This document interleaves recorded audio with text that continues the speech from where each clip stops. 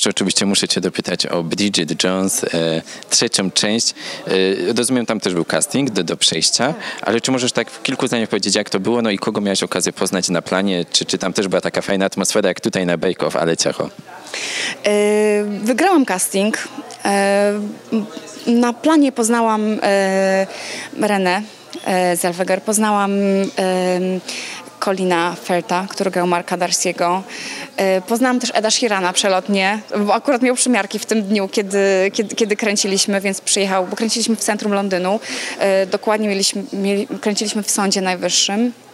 Pierwszy raz w ogóle były tam zdjęcia w historii tego budynku, także y, byliśmy kontrolowani, nikt nie mógł mieć telefonu, nie mogliśmy mieć, y, musieliśmy mieć jakieś specjalne ochraniacze na buty, wszystko było takie bardzo tak res- restrykcyjnie przeprowadzone.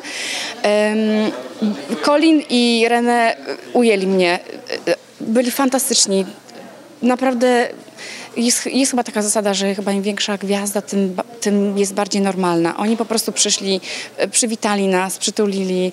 E, Re- Renę po zakończonych zdjęciach powiedziała, dziewczyny, byłyście fantastyczne.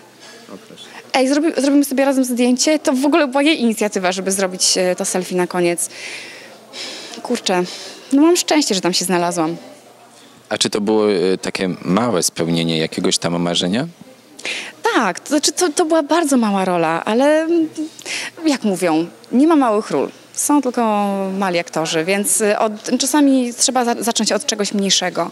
E, mam nadzieję, że jeszcze w moim życiu pojawią się takie role e, większe, może nawet główne, z których będę dumna i, i, i będę jeszcze o nich nieraz opowiadać.